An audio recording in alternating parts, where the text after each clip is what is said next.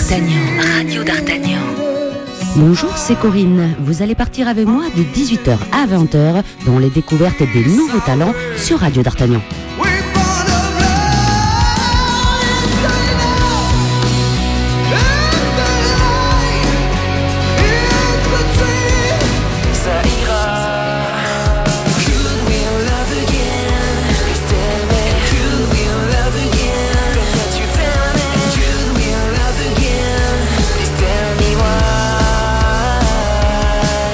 T'en veux encore Alors écoute Radio d'Artagnan tous les mercredis. Je dis stop, stop aux mensonges et aux arnaques. C'est décidé, demain j'adopte un plan pour passer à l'attaque.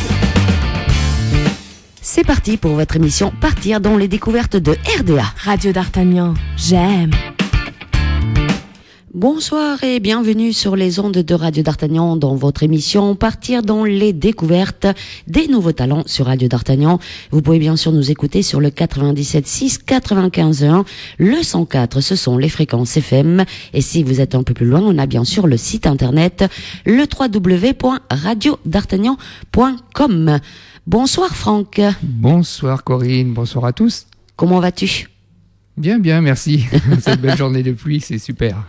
Eh, Il faut jamais le dire hein, qu'il pleut dans le Gers, tu le sais Ah, Non, parce j'apprends. qu'on dit tout le temps ici, il fait toujours beau. Alors, euh, imagine que quand il pleut, on s'en cache. hein. D'accord, je retiens la leçon.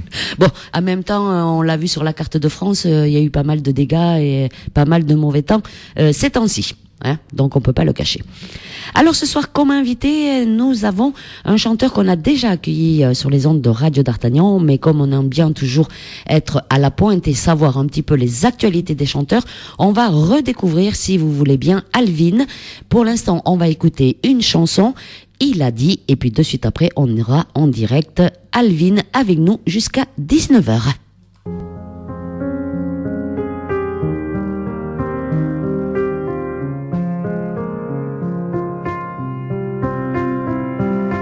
Il l'a rencontré pour la première fois dans le secret ce soir d'été. S'en est allé se révéler. Il avance comme une âme absente dans ces chemins qu'il n'osait prendre. Il se sent libre et s'évade. Lui, il vit dans le déni de soi, à s'inventer un autre moi, se dessiner une autre voie. Il l'a rencontré pour la première fois et a vu dans son regard ce qui se refusait de voir. Il a dit un choix auprès de moi. Regarde les étoiles, je vois comme celle-ci brille. Il a dit embrasse-moi ici, sous le ciel de cette nuit,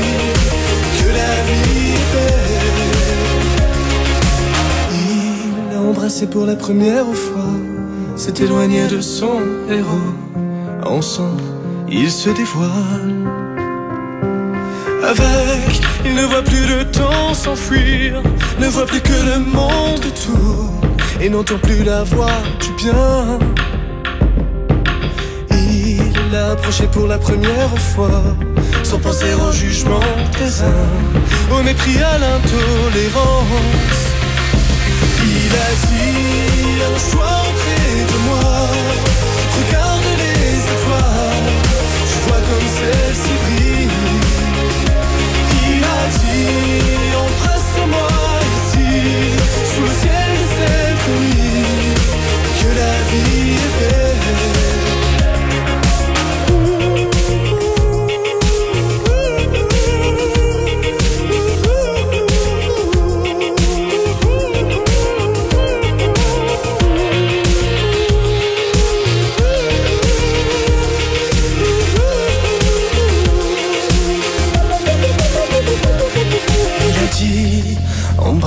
Embrasse-moi ici, sous le ciel de cette nuit, que la vie.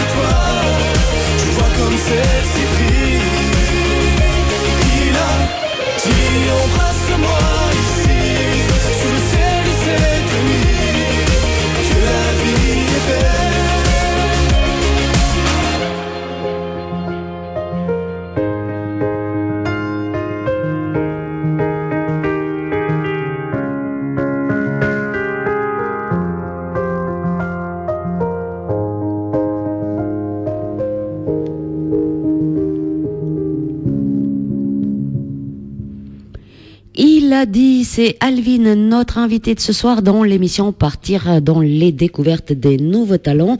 Il a dit, il a dit qu'il repasserait sur Radio d'Artagnan. Bonsoir Alvin. Bonsoir Corinne. Comment vas-tu?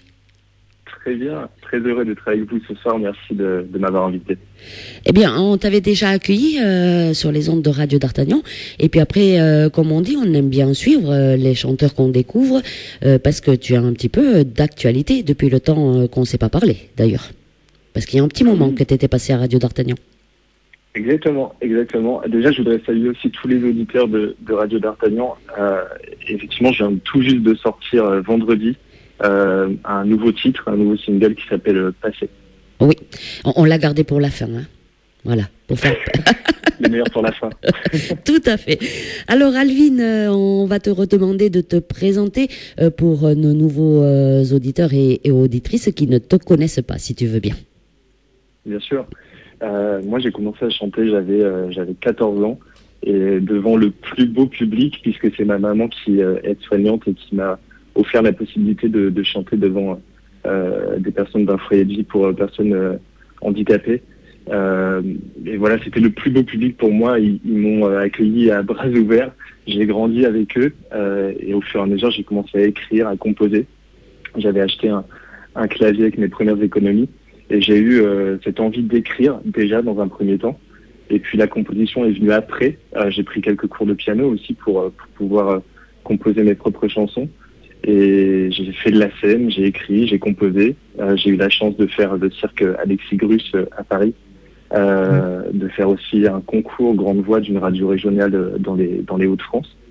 Et, et après, j'ai donné naissance à ce premier titre en 2016. Il a dit qu'on vient d'entendre du coup euh, et qui a été plutôt bien accueilli. Je crois qu'on est aujourd'hui à 1,2 million de vues sur sur YouTube.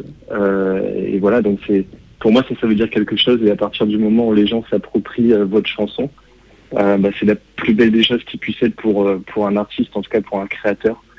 Et voilà. Et ensuite il y a eu ce second titre, Vie Papa, et aujourd'hui Passé. Un bon temps après Passé d'ailleurs, puisque c'était il y a quatre ans le dernier titre. Donc j'ai pris mon temps. Très bien. Alors, euh, à l'heure actuelle, tu as trois titres. Ça veut dire que tu n'as pas sorti euh, ni d'EP ni d'album euh, encore. Pas encore, pas encore. Ça, ça va venir. C'est le but, c'est l'objectif. Euh, parce que déjà, on dit euh, tu as trois chansons. Quand on en a trois, ça veut dire que tu as travaillé sur d'autres et qu'il y en a peut-être quatre, cinq, six qui sont à moitié prêtes ou presque finies. Je ne sais pas. Oui, c'est ça. En fait, moi, aujourd'hui, mon dernier titre, il est sorti il y a quatre ans, mais c'est vrai que pendant deux ans, j'ai été euh, quasiment absent des, des réseaux sociaux.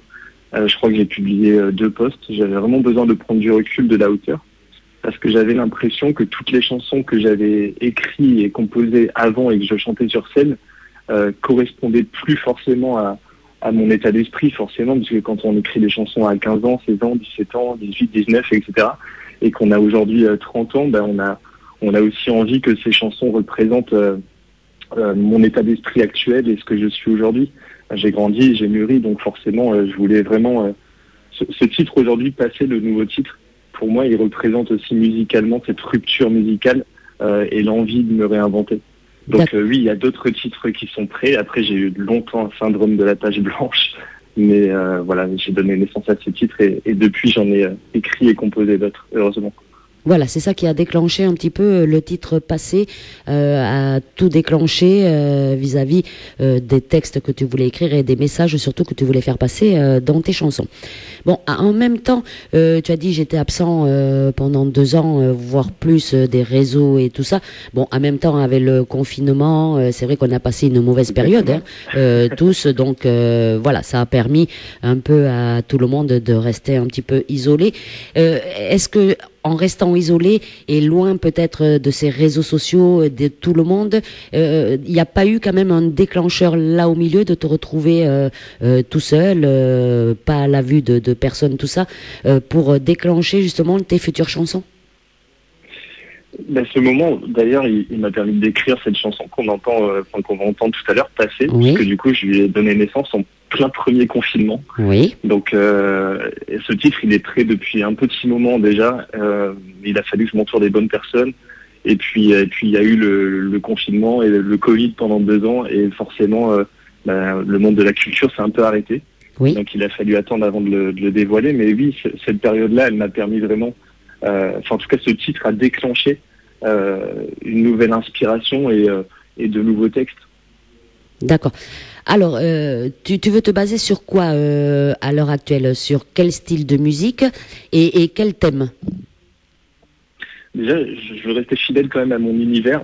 Euh, Aujourd'hui, je suis parti plus sur quelque chose qui est plutôt électropop. J'étais Oui. sur de la pop avant. Euh, mais effectivement, j'ai envie de rester un petit peu là-dessus. J'avais envie de surprendre avec ce titre et j'ai envie de rester dans cet univers musical. Euh, et les thèmes, ils sont toujours aussi variés. Moi, ce qui m'inspire, euh, le bonheur m'inspire pas, par exemple. Donc c'est très difficile parce qu'aujourd'hui, je me sens euh, heureux, mais euh, ça m'inspire pas. Et, et, et voilà. Et ce qui m'inspire, c'est plutôt les injustices, euh, l'intolérance. Et d'où le titre, il a dit d'ailleurs. Et ça, ça continue à m'inspirer. J'ai d'ailleurs écrit une chanson il n'y a pas très longtemps sur un sujet similaire. Donc toutes ces choses-là, les injustices de la vie, ça m'inspire beaucoup. Oui, mais euh, en même temps, les injustices, parce que là, tu peux faire euh, tout un tas de chansons, tu peux prévoir euh, une dizaine d'albums pour les injustices, surtout à l'heure actuelle. Voilà, bon, ça, t'inspire l'injustice, voilà, faire des chansons sur ça. Mais en même temps, beaucoup de personnes peuvent s'approprier tes chansons. Ouais, c'est ça. Et ça, c'est à partir de ça qu'effectivement, c'est la plus belle des réussites pour moi. Les gens après s'approprient les chansons, elles ne m'appartiennent plus, en quelque sorte. Euh, mais en, tout cas, euh, cette injustice, elle m'inspire parce que je crois que nous, les artistes, euh, on parle parfois un peu trop de nous et on raconte des choses qui nous sont personnelles, mais les gens peuvent s'y retrouver tout de même. Et puis aussi, on, peut véhiculer à travers nos musiques des messages, des messages forts et, euh, et de manière plutôt acceptable, sans faire euh, de, de, de buzz ou des choses comme ça, mais voilà, de, de le véhiculer de la bonne façon. Et en musique, c'est pour moi la meilleure façon. Très bien. Alors, euh, tu as dit euh, ces trois euh, titres, si je le dis bien, c'est toi-même qui les as écrits et composés. Exactement. Tu, tu as pas fait appel à des auteurs, des compositeurs, un petit peu, pour t'aider ou peut-être finaliser la chanson? Alors j'ai écrit, composé les trois titres. Euh, Oui. Au début, ils sont toujours dans une version piano-voix. Oui. Et euh, ensuite, euh, je m'entoure d'un arrangeur qui lui vient lui donner vie en quelque sorte Oui. euh, avec l'instrumental, en créant l'instrumental. C'est vraiment le rôle d'un arrangeur. Oui. Sauf sur le dernier titre passé, euh, où du coup la partie électro a été créée par un, un compositeur parisien euh, qui est plutôt renommé dans, dans le milieu artistique sur Paris. et qui effectivement a co-composé le titre avec moi sur la partie électro. D'accord. Tu, tu les enregistres où? Tu, tu es à Paris pour les enregistrer ou, ou autre part? Ouais, c'était toujours à Paris, le dernier titre euh, également dans un studio que je ne connaissais pas, euh, mais avec euh, toujours la même équipe euh, qui m'entourait parce que pour moi ça c'est hyper important. De, en studio, on a besoin de se sentir à l'aise et, et les trois morceaux, je les ai enregistrés à chaque fois avec le même ingénieur du son Mm. parce qu'il m'inspire confiance et, et je me sens bien avec lui. Donc c'est toujours des moments. le, le studio, c'est, je dis toujours que c'est un des meilleurs moments avec la scène. Je ne saurais pas choisir entre les deux, mais c'est vraiment c'est un moment beaucoup plus personnel, mais euh, on a l'impression d'être dans un grand laboratoire où on vient créer euh, cette chanson, cette musique avant de la dévoiler. Et ça, pour moi, c'est, euh, je trouve ça hyper beau et c'est toujours des souvenirs incroyables. Alors, en même temps, si tu vas toujours au même studio, ça veut dire que la personne, après, te connaît beaucoup mieux et c'est ce qu'il attend, quoi. hein, ce, que, ce que tu attends, du moins de ta chanson. C'est plus facile de travailler avec quelqu'un qu'on connaît bien et, et- et qui te connaît à force. euh, voilà. Et donc, il peut arranger le morceau euh, à la sauce que tu veux. Exactement. Et Mm. puis, euh, et puis on a ce feeling qui fait qu'il ose me dire euh, si ça manque d'intention. euh, on teste des choses, on ose se dire les choses. Là, il faut tenter ça, tentons ça. Ça, finalement, ça le fait pas. Et ce, ce discours de vérité, finalement, il nous permet aussi d'aller vers un titre qui, je crois, a du caractère. Et c'était, c'était important pour moi pour ce titre. Très bien. Alors, on a entendu euh, Il l'a dit, on va parler un petit peu de tes chansons, donc j'en ai trois. J'ai Il l'a dit, Oui papa et Passé. Alors, Il l'a dit, euh, on va parler un petit peu euh, des- des écritures. Tu as choisi quel thème sur ces trois chansons Et pourquoi, d'ailleurs? Il a dit c'est, c'est la tolérance, c'est une histoire d'amour. Oui, ça m'est personnel, je n'entrerai pas forcément dans le détail parce que je crois que quand on l'écoute, on, on comprend vraiment toute l'histoire. Moi, Oui. ce qui me plaît dans cette chanson, c'est que aujourd'hui, tous les messages, les retours que j'ai, que ce soit sur sur YouTube ou sur les réseaux sociaux, euh, cette chanson, les gens se la sont vraiment appropriée. euh, ils se retrouvent, et parfois ils, ils retrouvent un peu leur histoire où ils auraient aimé que que- qu'elle existe avant parce qu'ils auraient aimé la faire écouter à leurs parents quand ils avaient besoin de dire quelque chose. Mhm. Donc euh, ce, ce morceau, pour moi, il aura toujours une particularité. D'abord, c'est le premier, et on n'oublie jamais sa première fois. Donc euh, il sera toujours, euh, il sera toujours à part ce titre. Et aujourd'hui encore, euh, quand on, quand les gens découvrent mon univers, toujours, ils me disent que ce morceau est, différent, qu'il leur plaît parfois plus parce que l'histoire est, est, aussi, et ils peuvent se retrouver facilement parce qu'ils ont des personnes dans leur entourage qui, qui se retrouvent dans ce texte. Donc je crois que ce, message il est plutôt universel pour Il a dit, alors que le deuxième titre, Oui Papa, était beaucoup plus, beaucoup plus personnel. D'accord. Après, en même temps, les gens, euh, ils vont euh, se connecter euh, comme on fait nous euh, via euh, YouTube. Euh, Il y a les clips hein, qui sont bien faits en plus. euh, donc, euh, alors il y a marqué Alvin point. C'est ça? On le dit point. euh, Exactement. voilà. Point, comme un point. il, il faut pas. Hein, voilà, c'est un point. Après, il y a une virgule. Donc ça veut dire que ça continue. Hein. c'est moi qui ai rajouté la virgule. Euh, Alvin, euh, bon, Alvin, c'est ton prénom euh, ou ton nom de scène. Et, et point, tu as rajouté Alvin, Alvin point, c'est ton nom de scène? C'est mon nom de scène, mais euh, mon, mon vrai nom aussi. Ton vrai nom. Voilà, t'as rien changé. euh. Moi, moi, je prononce Alvin, c'est bien ça. C'est pas Alvin ou c'est bien. C'est- Alvin, c'est parfait. ah, t'as vu un peu. Bon, On, on me le fait souvent, on me le fait souvent encore. Trop de fois, non mais Alvin, ça, ça c'est vachement plus joli que Alvin. Hein, il faut le reconnaître quand même. c'est clair. Bon, c'est clair. Alors, euh, n'hésitez pas à aller via YouTube, euh, regarder euh, les clips euh, d'Alvin, parce qu'ils sont très bien faits, euh, voilà, et on comprend euh, tout à fait l'histoire, comme tu dis, quand on regarde les clips et qu'en même temps on écoute la chanson et, et le texte en même temps. Voilà. Alors, euh, papa, tu as dit que c'était personnel et passé. Donc, elle est arrivée euh, il y a un petit moment déjà, cette chanson. Le confinement est arrivé et tu l'as finalisée euh, à l'heure actuelle. Elle est sortie vendredi, c'est ça? Exactement. J'ai, euh, en fait, ce morceau déjà, c'est, surtout une rupture avec celui que j'étais avant. C'est plus une rupture euh, personnelle avec la personne que j'étais euh, il y a, il y a encore quatre ans. Et je crois que beaucoup de personnes d'ailleurs peuvent encore s'identifier dans cette chanson parce qu'elle parle de toutes sortes de ruptures et pas qu'amoureuses. Je crois qu'aujourd'hui, euh, c'est vraiment un symbole de rupture. Pour moi, c'était une rupture musicale, euh, parce que le titre, il est fondamentalement différent des, des deux précédents. Mais euh, voilà, je crois être resté aussi fidèle à mon univers, c'était important pour moi. Après, c'est toujours difficile d'expliquer pourquoi on écrit une chanson. Euh, moi, je l'ai juste écrit avec le cœur, avec les raisons qui me sont personnelles. Et, Mm. et je crois que la plus belle façon après de, de parler de sa chanson, c'est plutôt de conseiller aux gens de l'écouter. Et, euh, et je crois qu'ils comprendront. D'accord. Alors, euh, tu, as dit à peu près de quoi elle parlait, de maintes ruptures. Est-ce que le fait d'avoir mis du temps, euh, tu as, l'as dit tout à l'heure, tu as eu beaucoup euh, d'instants page blanche, parce que ça, ça arrive. Voilà que tu as écrit cette chanson passée où il y a eu maintes ruptures qui retracent un petit peu tout ce que tu as vécu. Du moment que tu l'as écrite maintenant, que tu puisses la chanter devant le public, est-ce que tout ça, ça t'a libéré? Et là maintenant tu écris à fond parce que voilà la page blanche n'existe plus parce que avec cette chanson tu t'es libéré.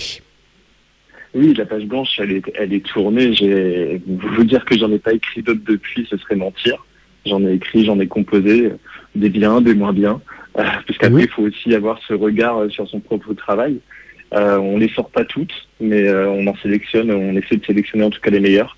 Donc oui, non, ça m'a, ça m'a libéré en tout cas dans, dans l'écriture et dans la, dans la composition. Et après, ce titre, il a, été écrit il y a deux ans, mais je l'ai enregistré euh, en mars, euh, dans un, du coup, dans un studio parisien. Et d'ailleurs, c'était un, super studio euh, dans lequel il y a de grands artistes qui sont venus enregistrer, Dalida, Claude François, Céline Dion plus récemment. Donc voilà, c'était un, super moment et, un super studio aussi. Très bien. Alors cette chanson passée, elle est sur les sites de téléchargement à l'heure actuelle? Ouais, sur toutes les plateformes de, de streaming. Oui, euh, où il faut le télécharger bien sûr légalement pour que euh, voilà ça revienne aux artistes parce que voilà c'est un artiste le travail c'est d'écrire et composer et chanter euh, leurs chansons donc euh, si vous allez la télécharger il faut la télécharger bien sûr légalement est-ce que tu as prévu de faire un clip pour lancer après cette chanson Alvin?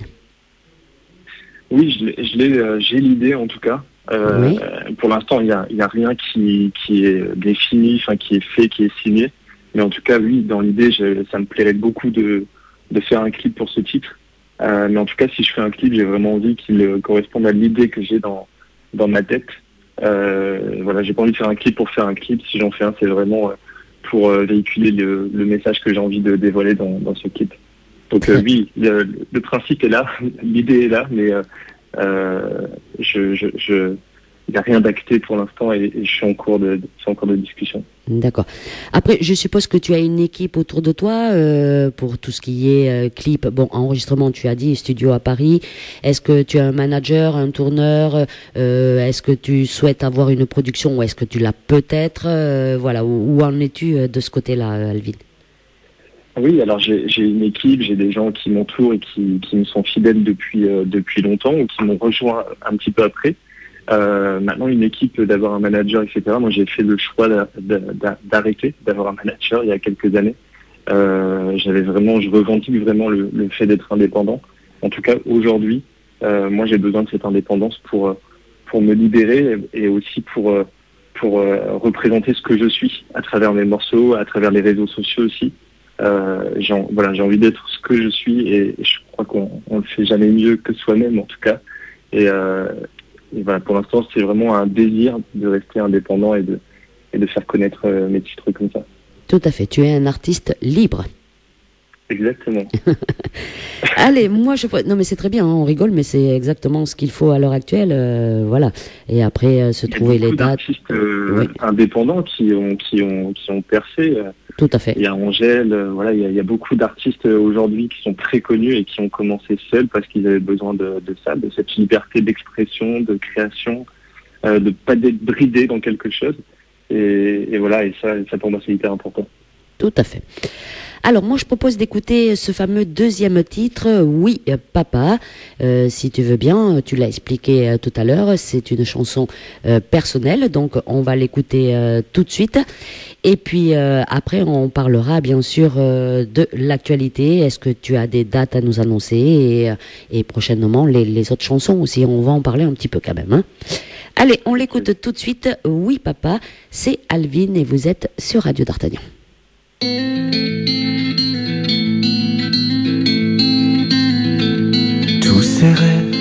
Perdu l'horizon. Il a laissé sa vie sur le côté. Il regardait d'un air amer son père. Telle une photo posée sur son fardeau. Il s'était promis de ne pas être comme lui. Ne pas se laisser bafouer par la vie. Pour oublier les heures de cette vie dont il n'a plus le goût. Un jour tes peines s'en iront et tu lui diras oui papa et la vie te sourira et tu lui diras oui papa et un jour tes peines s'en iront et tu lui diras oui papa et la vie te sourira et tu lui diras oui papa Il voit dans les yeux de son fils celui qu'il aurait aimé être. Mais il voit la douleur de son absence dans les yeux de celui qu'il admire.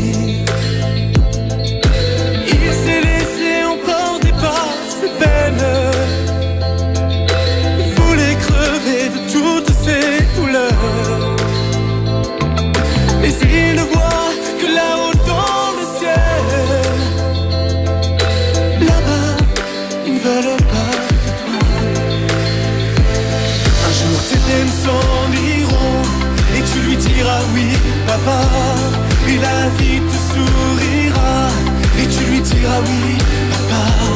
Et un jour tes peines s'en iront et tu lui diras oui, papa. Et la vie te sourira et tu lui diras oui, papa.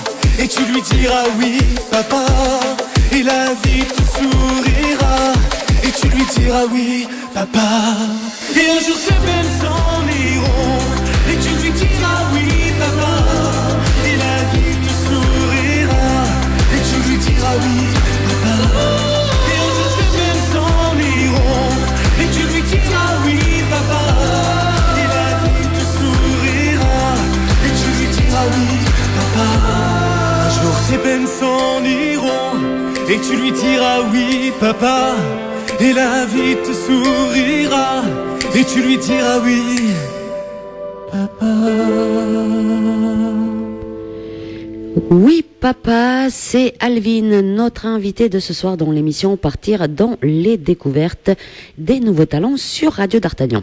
Ça va toujours, Alvin Très bien. Bon, ça, ça fait plaisir de s'entendre en radio quand même, non? Oui, complètement. complètement. Ça fait plaisir de, de retracer le parcours. En plus, quand je l'écoutais, euh, je repensais aussi à un petit peu à la naissance de cette chanson. En tout cas, de, avant qu'elle sorte, j'ai rencontré l'arrangeur qui a fait euh, l'instrumental de, de cette composition euh, sur scène, dans les coulisses d'un super concert euh, qui avait été organisé pour euh, Octobre Rose euh, dans le nord de la France. Et ce spectacle, en plus, avait été co-organisé par une personne qui compte aujourd'hui beaucoup pour moi et qui, qui m'accompagne aussi dans, dans ma vie artistique pour faire connaître chacune de mes chansons.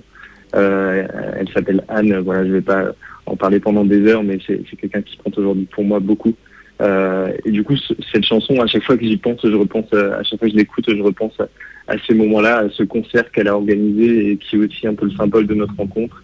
Et cet arrangeur que j'ai rencontré dans les coulisses et, avec qui on a donné naissance à ce titre. Donc D'ailleurs- toujours plein de souvenirs quand on se réécoute. D'ailleurs, euh, tu, tu parles de Anne. Euh, voilà, on va lui faire un petit coucou à Anne parce que c'est grâce à elle que tu es à Radio d'Artagnan. Voilà. Et, euh, et Anne, quand elle écrit et qu'elle propose un artiste, euh, maintenant, euh, c'est un truc. euh, J'écoute même pas l'artiste. Je lui dis oui, euh, je le prends. Il y a telle date de disponible parce que voilà, je sais que si Anne m'envoie un artiste, c'est que c'est un artiste de qualité. Voilà. Tu as une très bonne personne à côté de toi là. Ça, c'est sûr. Je m'estime, très chanceux de l'avoir à mes côtés, effectivement. Faut toujours être reconnaissant envers les personnes qui, qui nous apportent. C'est clair. Et, euh, et c'est rare euh, à l'heure actuelle. Hein On va pas faire un épilogue. Tu pourrais faire une chanson sur ça, tu vois. Exactement. Alors, Alvin, Surtout, pour... surtout dans ce milieu, on rencontre beaucoup de personnes et parfois des, des gens qui sont pas toujours bien intentionnés. C'est c'est pas un milieu facile et euh, voilà. Et, et il y a des gens qui vous ouvrent des portes, des, de belles portes, et il y en a qui vous enferment. Et il faut avoir beaucoup de force pour continuer à y croire. Et, moi, cette force, en tout cas, j'essaie de la puiser sur scène et auprès des personnes qui qui me font confiance et qui m'apportent beaucoup et qui le méritent. Tout à fait. C'est le principal d'avoir ces personnes-là et euh, d'écrire et de composer et de chanter sur scène pour ces personnes-là. Voilà. C'est euh, c'est exactement ça. Alors, euh, maintenant que cette chanson est écrite, euh, passée, euh, je suppose que tu vas aller la défendre sur quelques scènes. Est-ce que tu as des dates qui arrivent pour cet été, Alvin? Oui, bah, c'est le but. Aujourd'hui, la scène, moi, ça m'a terriblement manqué. Déjà pendant le, confinement, je crois que ça fait du coup trois ans que je suis pas monté sur scène, donc ça me, j'ai très envie, mais en même temps, c'est hyper effrayant quand ça fait trois ans. Mais voilà, j'espère ne rien avoir perdu et en tout cas, la- cette envie, elle est présente. Je serai sur scène le, le 17 juin, donc dans dans un peu moins de dix jours, euh, dans ma ville natale à, à Lens, dans les Hauts-de-France euh, pour un, un plateau années 80-90 avec euh, avec les Forbans et avec d'autres artistes des années euh, 80. Oui. Et voilà, j'aurai la chance de partager cette scène avec eux une fois de plus. Je dis une fois de plus parce que l'organisateur de, de, de ce concert m'invite depuis 2008 à, à faire cette scène, à la partager. Et, voilà, je, je, pour ça, je le remercie encore une fois. C'est une scène qui compte beaucoup pour moi parce que c'est c'est le public qui m'a connu en premier, en tout cas mon premier public, les Lanois, du coup ma ville natale. Donc c'est une scène qui compte pour moi et il n'y avait rien de plus beau que de commencer par cette ville. Oui, de recommencer du moins. Voilà. Exactement. Exactement. Et après, est-ce ensuite, il y que... aura, Oui. ouais, il y aura d'autres dates. euh, je, je vais être candidat à des tremplins. Pour l'instant, j'ai pas encore euh, des dates euh, officielles. Mais en tout cas, je, je suis candidat à pas mal de tremplins et de, de concerts. C'est en train de se faire. Donc, euh, j'annoncerai toutes les dates au fur et à mesure sur, sur les réseaux sociaux. Candidat à des tremplins, ça veut dire que tu vas faire des concours ou non C'est des... c'est ouais, c'est des scènes, c'est partager des scènes avec d'autres artistes, comme j'avais déjà pu le faire avant, euh, avec des, des radios régionales qui organisent parfois des, des festivals ou des concerts. Ah d'accord, oui. plus, plutôt des festivals. Oui, pas des concours, parce que tremplin, on peut prendre ça pour un concours où tu vrai. es noté et tout ça. Bon, je suppose que euh, tu ne fais plus euh, ce genre de scène, quoi, de concours. Non, Hein non, non. La télé, t'y as pensé? J'ai Toujours pensé, pas? il y a, il y a- il y a The Voice, c'est une très belle émission et, et moi d'ailleurs j'avais adoré suivre la saison avec euh, avec Mentissa qui a sorti un titre d'ailleurs avec Vianney euh, et Dan. Oui. Euh, et moi elle m'avait séduit avec sa reprise de Dua Lipa, qui est une artiste que j'adore énormément. Euh, mais après The Voice, j'ai vraiment peur moi de pas me sentir euh, à ma place. Moi mon truc c'est vraiment de d'écrire, de composer, de de produire euh, et d'être au plus proche des gens. Et du coup mon ambition c'est pas forcément The Voice, c'est vraiment de parler au cœur des gens et après j'espère le, le faire bien d'ailleurs. Mais ma seule ambition vraiment c'est de créer des souvenirs avec le public sur scène. Et si je parviens déjà à vivre dans leur quotidien euh, à travers mes musiques, est-ce qu'ils m'écoutent dans leur voiture en allant au travail, est-ce qu'ils m'écoutent dans des soirées ou des choses comme ça, alors pour moi déjà ça c'est ma c'est ma plus belle réussite. Mais après euh, d'autres émissions peut-être un jour, mais euh, celle-ci en tout cas euh, pour l'instant euh, je dirais plutôt non. Alors, le public euh, sur scène, euh, c'est ce que les artistes aiment le mieux, voilà, euh, d'être en famille avec leur public en face. Comment tu prépares tes scènes, Alvin? Est-ce que à l'heure actuelle tu as des musiciens ou tu es seul? Alors, j'ai longtemps été accompagné de, musiciens. Là, pour cette prochaine scène, en tout cas, je le, le serai pas. Ce sera un spectacle sur, sur bande, sur des raisons techniques, mais euh, effectivement, ce sera sur bande. Mais comment on se prépare? Bah, Déjà, avec beaucoup de concentration. Euh, Il y a toujours la peur d'oublier ses textes ou des choses comme ça. Donc, euh, il y a cette partie un petit peu théorique où il faut bien euh, réviser. Et pour cette scène, j'ai choisi de faire des reprises, mais aussi mes propres chansons. Et du coup de rendre hommage aussi aux, aux artistes des années 80, donc de jouer le jeu aussi de, de, ce, de ce plateau. Euh, donc du coup je rendrai hommage à, à Patrick Bruel et puis à Jean-Jacques Goldman qui sont pour moi deux, deux grands de, de ces années et qui le sont encore aujourd'hui d'ailleurs. Tout à fait. Là, tu t'es pas trompé. Hein. Patrick Bruel et Jean-Jacques Goldman. voilà. Et puis en même temps, je sais pas quelle chanson tu as choisi, mais le public euh, va reprendre le refrain euh, avec toi. hein. Ça, c'est sûr. C'est c'est ça que j'aime en tout cas moi le quand le public chante alors quand il chante mes propres chansons et, et à chaque fois que je suis à Lens dans dans ma ville ils connaissent mes chansons donc ils, ils chantent avec moi mes chansons il n'y a rien de plus beau donc euh, oui quand on chante tous à l'unisson euh, euh, l'artiste avec son public il n'y a rien de de plus beau à vivre et on se prend une une bonne claque et, et ça fait du bien Oui, mais comme tu dis, c'est une bonne claque qui rend euh, heureux surtout. Hein. Voilà, ça. Exactement. ouais. Alors, euh, quand tu fais euh, des scènes, puisque nous, on a trois chansons, il a dit, oui, papa est passé, euh, tu, tu viens de le dire, quand tu fais des concerts qui, qui durent une heure, une heure et demie, enfin, je ne sais pas combien de temps tu fais un concert, je suppose que dedans, tu mets des reprises ou tu mets des chansons qui sont à venir? Oui, alors c'est ce que avant effectivement cette petite absence, je, je, je reprenais, enfin en tout cas je chantais, je dévoilais des d'autres morceaux, Oui. euh, des compositions du coup. Donc euh, le public en tout cas qui m'a écouté euh, euh, lors de plusieurs scènes connaît déjà d'autres titres. Et pour moi c'est aussi important parce que ça permet de de voir, euh, de prendre un petit peu la température et de voir comment euh, sont accueillies certaines chansons auxquelles parfois on croyait et qui finalement sont moins bien accueillies que d'autres. Donc euh, c'est- important et puis ça leur donne aussi la, la primeur de découvrir d'autres d'autres textes euh, sur scène. Ça rend ce moment encore plus particulier. C'est vrai parce que voilà, tu dévoiles tes propres chansons et euh, tu le vois de suite avec euh, l'accueil du public. Tu te dis, eh ben tiens, celle-là, elle va bien passer, euh, celle-là un peu moins. Après, tu sais qu'on les écoute une fois, bon, euh, voilà, c'est une fois. Euh, après, c'est pour ça qu'il y a des radios et des télés qu'on les passe plusieurs fois, on s'imagine mieux la chanson, voilà. Mais mais c'est vrai que rien de tel que d'être jugé par son propre public pour savoir si les chansons vont bien ou pas. Mais enfin, normalement, quand tu as le public en face de toi euh, et qui sont fans de toi, ils te suivent hein, systématiquement quand même. hein. Voilà. Je suppose, du moins. Mais oui, j'espère. J'attends le 17 juin avec impatience. T'es stressé un peu, on le sent, ouais, Alvin. T'es- Ouais, c'est stressant parce que du coup ça fait longtemps, mais euh, je j'ai hâte aussi. J'ai vraiment hâte. Alors, tu as parlé tout à l'heure, bon, là, pour euh, le concert avec les années 80, tu seras seul, mais euh, tu as parlé que tu avais des musiciens quand même avec toi. Oui, j'avais euh, des amis musiciens qui m'ont accompagné euh, Oui. souvent sur scène et, et que je salue encore une fois. Et euh, là, pour l'instant, euh, on n'a pas encore travaillé sur, euh, sur quelques morceaux. Pour l'instant, c'est vraiment des, des chansons euh, originales sur bande que je vais chanter pour euh, vraiment les chanter telles que les gens les connaissent Oui. sur les sur les plateformes. Mais euh, pour l'instant, c'est plutôt ça aujourd'hui. Et c'est ce qui fait euh, c'est ce qui se fait beaucoup aujourd'hui sur scène, malheureusement entre guillemets. Mais oui, après euh, l'objectif de tout artiste, c'est quand même d'être entouré de, de musiciens et c'est quelque chose que je que je vais faire aussi par la suite.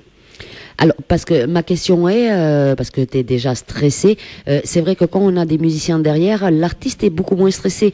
Parce que voilà, tu peux jouer avec les musiciens. euh, si par exemple tu as oublié euh, de, de chanter euh, une phrase ou les musiciens peuvent continuer, tu vois.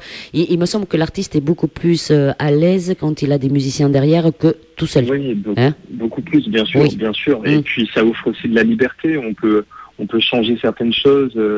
On peut s'amuser beaucoup plus que de, chanter sur euh, sur une bande. Et puis aussi, il y a ces moments que moi j'adore, c'est de reprendre euh, les chansons avec le public et les musiciens euh, accompagnent derrière ce moment-là. Donc c'est des choses qu'on peut pas faire quand on chante quand on chante sur des instruments qui sont déjà préenregistrés. Oui, parce que si tu continues à chanter que la musique est finie, bon, en même temps, euh, ça peut le faire aussi. Faire hein. de la capella. Euh, ça, ça peut le faire, hein, voilà, s'ils ont retenu le refrain, tu peux le reprendre euh, après. Alors, effectivement, tu, tu dis les scènes elles se font de moins en moins euh, avec les musiciens et beaucoup sur bande. Pourquoi? Parce que à l'heure actuelle, je pense que euh, moi aussi, je préfère qu'il y ait des musiciens avec l'artiste, mais je pense que c'est le budget qui arrête tout ça, quoi. hein, parce qu'un artiste seul et un artiste avec des musiciens, le budget est et c'est vrai que les organisateurs sont un peu euh, froids ces temps-ci avec le Covid et tout ça de reprendre les manifestations. Et euh, voilà c'est pour ça euh, je pense que c'est le budget qui restreint euh, d'avoir les chanteurs plus musiciens. Je, je pense hein, c'est mon avis. Je ne sais pas si tu le sens comme moi, comme moi toi. Je ne sais pas. Oui, c'est possible. Oui. C'est possible. Bon. Alors, quoi qu'il en soit, euh, les scènes que tu vas avoir, bon, tu as déjà euh, celle-là qui sera le 17 juin. Euh, c'est en première partie que tu es de ces artistes des années 80 ou après il y a d'autres artistes aussi, comme toi? Ouais, c'est c'est vraiment un plateau. Du coup, on est vraiment, on est plusieurs artistes à partager la scène. D'accord. Tu chanteras combien de chansons? Je vais en chanter trois. Donc euh, passé, passé forcément, Oui, puisque c'est la dernière. Et oui. puis deux, euh, deux reprises et on en chante euh, quasiment tous. Voilà, Patrick Bruel et Jean-Jacques Goldman, tu as dit. Exactement. Alors, laquelle de Bruel et laquelle de Jean-Jacques Goldman? Ou tu veux peut-être pas le dévoiler, je ne sais Je pas. vais, ouais, je vais pas le dévoiler. Ah. Mais on aura l'occasion d'en reparler. Oui, j'ai des petites idées quand même, hein, Patrick Bruel et Goldman. euh, Oui. bon, euh, voilà. C'est simple. Hein, enfin, simple. euh, je vais te dire que Mais il y en a beaucoup. Il y en a beaucoup. le palmarès de Bruel et de Goldman, voilà, on peut en trouver plein. hein. Voilà, mais Et c'est ça qui fait la force de ces artistes-là. Ah, tout c'est à fait. que Mm. c'est- ce sont de grands, de grands artistes parce qu'ils ont, ils ont traversé les, les générations avec des morceaux que les gens connaissent encore aujourd'hui, que même les jeunes connaissent aujourd'hui. Et ça, c'est la plus belle des réussites pour moi, pour, pour un artiste. Tout à fait. Alors moi j'étais plutôt dans la Bruel Mania, donc tu vois à l'époque de Alors regarde ou euh, bon voilà là je suis très fan de ces euh, de, de ces chansons là de Patrick Bruel. J'aime toujours Patrick Bruel, mais si tu veux un peu moins j'ai adoré voilà euh, ces chansons là. Alors regarde euh, voilà rendez-vous dans dix ans. Euh, hein, je fais pas de tableau, tout le monde le connaît. Et l'époque de Goldman, tu vois quand la musique est bonne, encore un matin, envole-moi, voilà tout tout ça euh, c'est c'est du bon aussi. Et euh, effectivement, il y a beaucoup de chanteurs qui reprennent ces chansons-là parce que pourquoi le public les connaît par cœur et ils vont embarquer, euh, euh, voilà, euh, dans du Goldman et Bruel. forcément, on connaît tout ça tous par cœur, à peu près. Complètement. Hein, complètement. J'étais pas loin. Goldman, il y en a une. Ouais, il y en a une que vous avez citée qui est la bonne, mais je ne dirai pas plus. Voilà, je sais. Goldman. Bon, d'accord. Ah, de Goldman? De Goldman, ouais. Ah, Pas de Bruel. Non. Ah mince, bon, je rigole, hein, Alvin. Voilà, c'est quand même à toi à choisir la chanson que tu veux interpréter et, et surtout la chanson où tu te sens le mieux dessus, parce que voilà, c'est facile de sûr. dire on, on va reprendre telle et telle chanson, mais si t'as pas la voix ou la capacité de la reprendre, ça sert à rien non plus. Hein, donc, euh, Et c'est Et- pas simple, c'est pas simple de, de parce que moi j'essaie en tout cas quand je quand je reprends une chanson de de me l'approprier et d'essayer d'y mettre aussi ma couleur. Tout à Et- fait. et C'est pas forcément pas forcément simple. Non, non, parce que bon là, tu as quand même cité deux pointures et c'est pas facile, voilà, de, de reprendre ces chansons-là. Mais euh, je suis persuadée le public t'aidera et euh, ça va passer nickel. Voilà, on connaît, tu es quand même un grand artiste, donc il n'y a pas de souci. Tu, tu me rediras, hein, tu me feras un petit message et tu me diras si ça s'est très bien passé. Alors donc ces trois chansons, il a dit oui papa. Passé, Euh, moi je pense que euh, pour peut-être pas pour 2022, mais peut-être 2023, tu es en préparation euh, d'un EP, d'un album, parce que voilà, comme on dit, euh, c'est un petit bébé ça pour les artistes de sortir un EP ou un album. Est-ce que c'est en prévision, Alvin? Bien sûr, bien sûr. Et aujourd'hui, c'est un petit peu le nerf de la guerre quand on est artiste indépendant. Bien souvent, on vous demande de présenter un peu l'EP comme une carte de visite. Oui. Donc euh, oui, bien sûr, c'est c'est dans mes, c'est dans mon objectif. En tout cas, j'ai d'autres titres qui sont déjà prêts et, et oui, c'est c'est le but. Euh, après, pour moi, 2022-2023, c'est vraiment les scènes, les scènes, les scènes. Pendant un an, je vais vraiment me concentrer là-dessus pour euh, pour faire découvrir mes titres. Oui. j'ai vraiment envie de sortir euh, un EP avec euh, avec euh, un peu plus de gens derrière moi et qui ont découvert un petit peu plus. Le problème aujourd'hui, c'est que chaque chanson, on la consomme un peu comme un, comme on jette un mouchoir. Et, et pour moi, ça c'est un, un vrai problème. J'ai vraiment envie de prendre mon temps. Pour moi, une nouvelle chanson, c'est un nouveau chapitre à chaque fois, une nouvelle page, des souvenirs qu'on crée avec le public. Euh, donc j'ai vraiment envie de profiter déjà de cette chanson, même si c'est qu'une chanson. Et puis, euh, et puis bien sûr, la suite, euh, la suite logique, c'est, euh, c'est d'en dévoiler beaucoup plus euh, au public. Tout à fait. Et après, c'est toi qui vas trier et garder euh, les chansons préférées du public pour réaliser un EP. Euh, tu voudrais un EP de combien de titres à peu près? Ou un album, je ne sais pas, hein, si tu veux faire un album direct. Généralement, un EP, c'est cinq titres. Oui. Euh, et après un album, euh, je, je pense que pour un artiste indépendant aujourd'hui, c'est pas forcément bien, mais un EP, ce serait plus l'objectif. Mais c'est-à-dire que on va reparler budget. Euh, le budget est tout à fait différent d'un EP et d'un album, hein, forcément. euh, voilà. Après, euh, je ne sais pas. Peut-être que tu passeras par un site participatif. tu feras participer ton public et tes fans pour créer cette EP. Jusqu'à aujourd'hui, je me suis toujours refusé à faire ça. Alors Oui. peut-être que c'est une erreur, mais je, je sais que beaucoup le font. Oui. je j'ai jamais voulu le faire parce que j'ai cette ce rapport euh, au public est un peu euh, particulier. En tout cas, j'ai cette difficulté à leur demander de financer mes, titres. Euh, c'est quand même plus simple d'arriver avec quelque chose, de leur proposer. Et s'ils ont envie, s'ils l'aiment, s'ils ont envie de se l'approprier, ils se l'approprient. Mais j'ai, pour ma part, en tout cas aujourd'hui, j'ai cette difficulté à, à me lancer dans une campagne de financement participatif, même si ça a permis à plein d'artistes de faire de super choses et à plein de plein de personnes aussi d'aider un artiste et de, de l'aider à produire quelque chose de super. Voilà, je, je critique pas du tout le financement participatif, c'est une super idée. Mais en tout cas, pour ma part aujourd'hui, c'est c'est pas forcément ce que je retiendrai.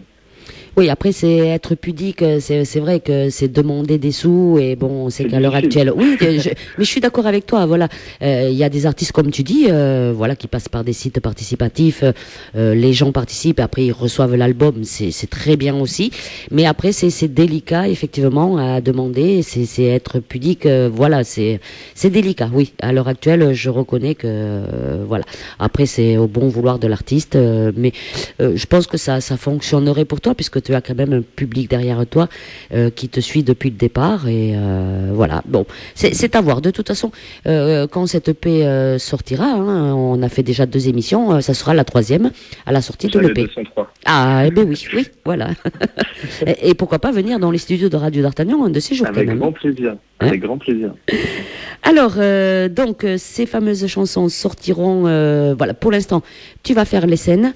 Euh, les scènes te permettront, eh bien, puisque tu veux pas passer par un site participatif, les scènes te permettront, euh, tout cet été jusqu'en 2023, de euh, financer euh, sûrement euh, cette EP. C'est, c'est un bon, euh, un, un bon concept aussi. Et euh, bien sûr, c'est une affaire à suivre euh, de savoir quand sortira euh, cette EP avec cinq titres. Voilà, on va surveiller tout Mon ça. objectif, c'est vraiment de faire découvrir mes sons par la scène, vraiment par tous Oui. les moyens, par tous les canaux. Mhm. Et, et par la scène parce que j'adore ça et que c'est un moment privilégié en plus avec le public. Euh, c'est le un moment incroyable. Et on, on- comme je le disais tout à l'heure, on prend une claque, mais une, une vraie bonne claque. Et, et on se sent bien après, ça fait vraiment du bien.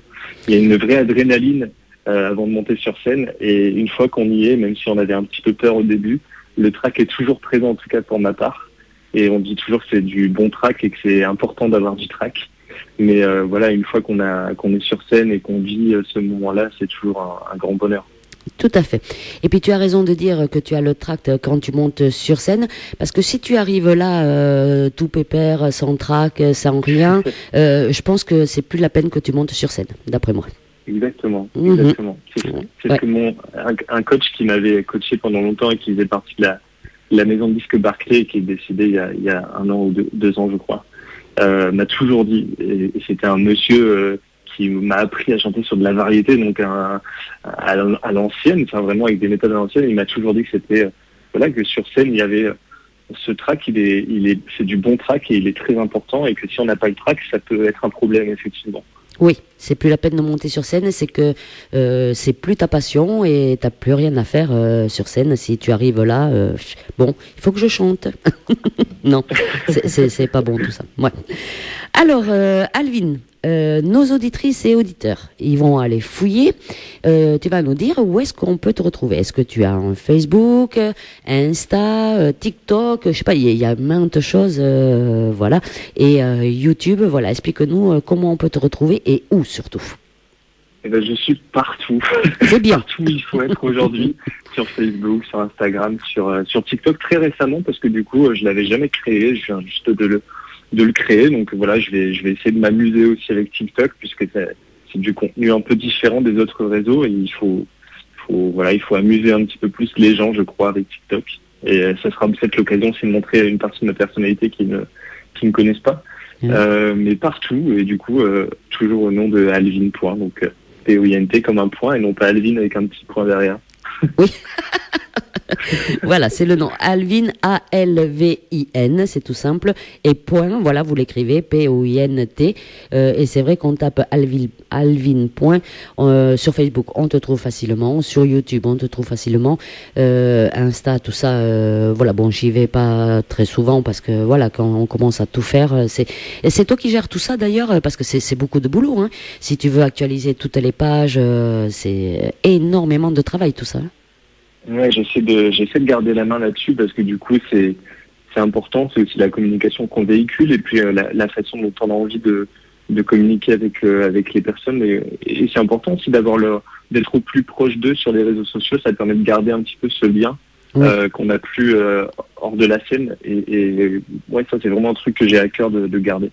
Oui, parce que c'est presque un travail à temps plein, hein, moi je dirais, hein, tout ça. Si on veut vrai, mettre euh, euh, les actualités à jour, euh, répondre à tout le monde, voilà. Bon. Prochainement, je pense qu'il y aura un clip de cette chanson passée.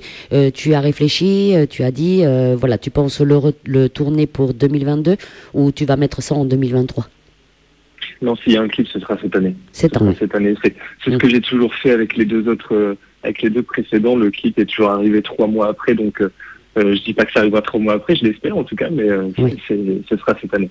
C'est c'est du boulot, ça aussi, hein, tourner le clip. Bon, tu as dit que tu avais déjà réfléchi, mais après, bon, je ne sais pas si tu connais déjà l'équipe, euh, si tu as une équipe autour de toi qui filme, tout ça. euh, voilà, c'est c'est délicat. Et euh, voilà, c'est un budget aussi, hein, de faire un clip, par contre. hein. Bien sûr, bien sûr. Oui. Mais les clips, pour moi, ça reste important parce que les, quand on écoute de la musique, euh, parfois on, on l'écoutait d'une façon et quand on regarde le clip, on la voit peut-être d'une autre façon aussi. Oui. Et du coup, c'est ça qui est magique avec euh, avec un clip, c'est que parfois on peut véhiculer certaines certains messages euh, euh, qu'on n'avait pas forcément en tête euh, à la première écoute. Et puis quand on voit le clip, déjà, ça fait une belle promotion euh, pour la chanson aussi. Hein. Voilà, parce que les gens vont sur YouTube, euh, voient euh, la chanson, le clip, donc voilà, ils regardent plus facilement. Et puis c'est vrai que quand on écoute la chanson, on aime bien avoir voir la tête de l'artiste, le voir chanter. Voilà, c'est c'est important aussi, voilà, d'être devant la scène et, et qu'on te voie un petit peu quand même. Hein Exactement, exactement. Mais c'est bien, euh, les réseaux sociaux permettent de garder aussi cette proximité. Mm. Euh, J'essaie d'être un, un peu plus présent qu'avant, en tout cas de faire un petit peu plus de vidéos, des, des choses comme ça, de me montrer un petit peu plus aussi. Et, Mm. euh, et c'est ce que je vais essayer de faire dans les, dans les prochaines semaines, de partager un petit peu plus de moments euh, off avec le public, sans trop en dire sur moi, parce que j'ai j'ai toujours cette pudeur aussi, et, moi je suis un grand adepte de, de vivons cachés pour être heureux, donc euh, les, les choses qui me sont personnelles, je les- je- j'en parlerai pas, mais en tout cas le- les moments euh, que je pourrais partager avec eux sur les réseaux sociaux, je, je le ferai à chaque fois, à chaque fois qu'il y en aura, euh, je le ferai.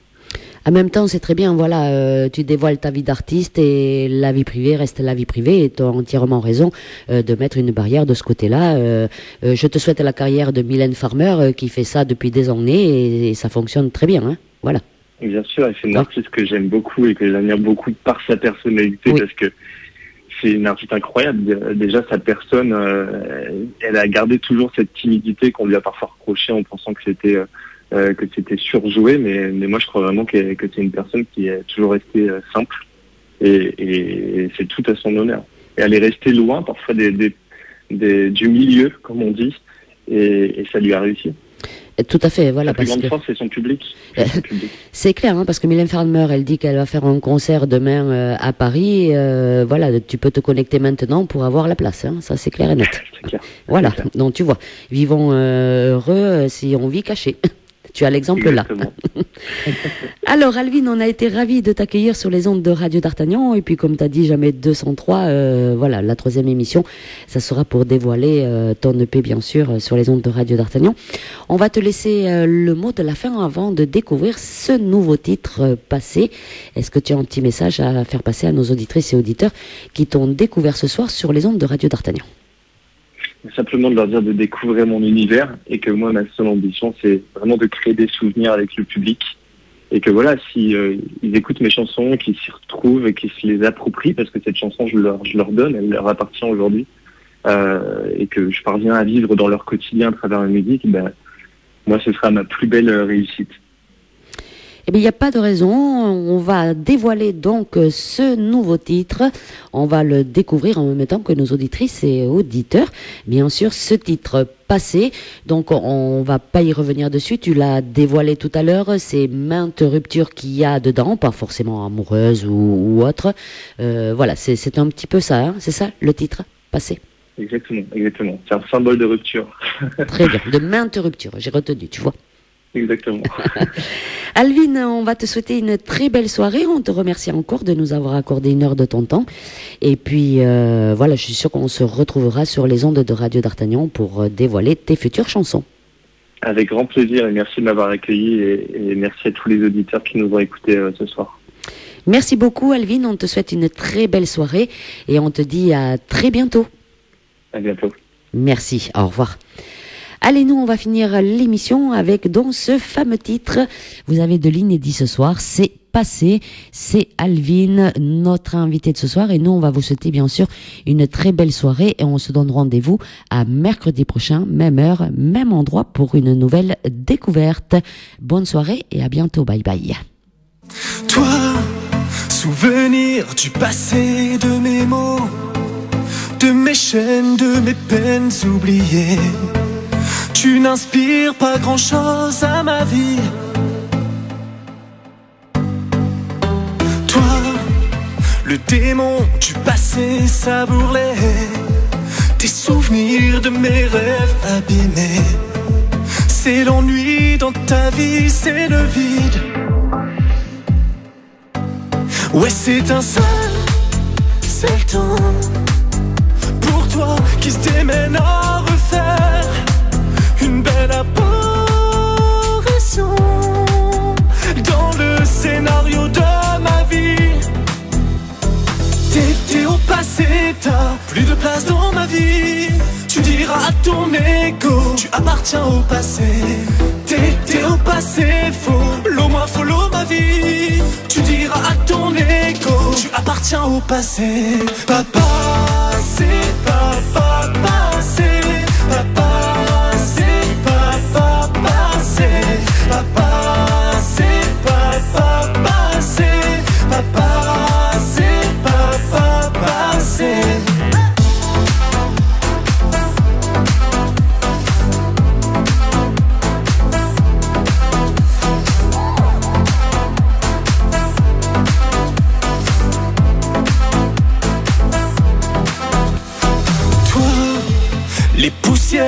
Passé, n'oublie pas. N'oublie rien, souviens-toi que ma vie a commencé sans toi, ouais, sans toi. Ouais, c'est un seul, c'est le temps pour toi qui se démène